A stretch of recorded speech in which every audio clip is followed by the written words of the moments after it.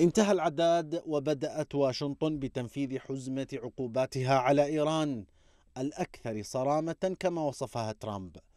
ولعل الصرامة الأمريكية تبدأ من تهديد ووعيد لكل دولة تحاول كسر الطوق الاقتصادي الخانق الذي بدأ مع انسحاب واشنطن من الاتفاق النووي ثم فرضها عقوبات مجدولة استهدفت النفط بالشكل الأساس استهدفت النفط بالدرجة الأساس ثم الشركات والمصارف الممولة للحرس الثوري.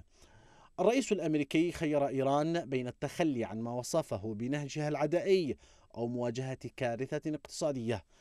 وهذه الكارثة تعني استمرار نزيف العملة الإيرانية بشكل أكبر حتى وصلت إلى أدنى مستوياتها أمام الدولار مع تفاقم المعضلات الاقتصادية في البلاد وهو ما يشير بشكل أو آخر. إن إدارة ترامب تضغط على برميل بارود يوشك أن ينفجر في الداخل الإيراني.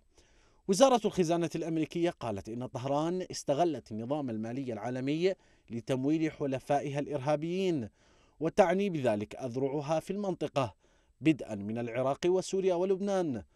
ثم خنجرها المطل على البحر الأحمر متمثلا بميليشيا الحوثي. أما إيران فردها لم يخرج عن السياق. فقال وزير خارجيتها إن أمريكا لن تنجح بالعقوبات كما أنها ستندم على فعلتها. ثم رفع الرئيس الإيراني حسن روحاني النبرة بتوعده ببيع النفط رغما عن واشنطن. وتحدي روحاني هذا لا يكاد يخرج من عبث.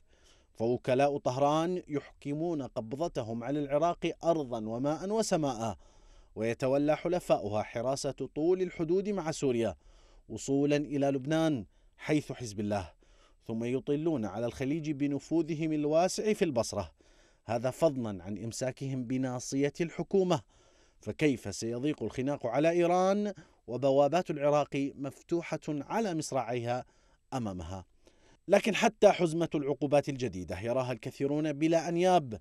لا سيما وأن الولايات المتحدة استثنت عدة دول من العقوبات وليس من قبيل الصدفة أن تكون تلك الدول أهم المشترين للنفط الإيراني كالصين والهند واليابان وكوريا الجنوبية. فكيف سترضخ إيران وتقلم مخالبها إن أفرغت العقوبات من محتواها؟